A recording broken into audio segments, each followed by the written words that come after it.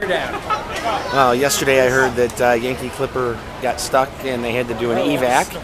And nope, yep, they are stuck now. There's people on it. See? Everyone's getting out. I'm surprised. I'm surprised there's no boats on the first. Huh. They, they are definitely yeah. Maintenance is on their way, she's saying. They can't. Sucks to suck.